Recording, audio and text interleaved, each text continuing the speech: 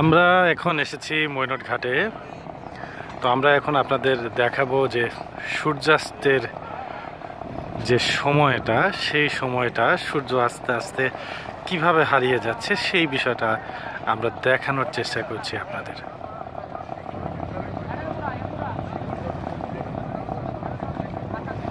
আপনারা দেখতে পাচ্ছেন যে মাঝ নদীতে একটি ছোট নৌকা, এটা মাছ ধরার নৌকা বলেই আমরা জানি।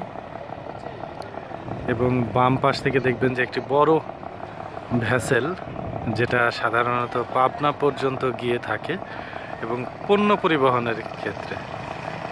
তো আপনারা দেখছেন যে ধীরে ধীরে সূর্যটা ডুবে গেল।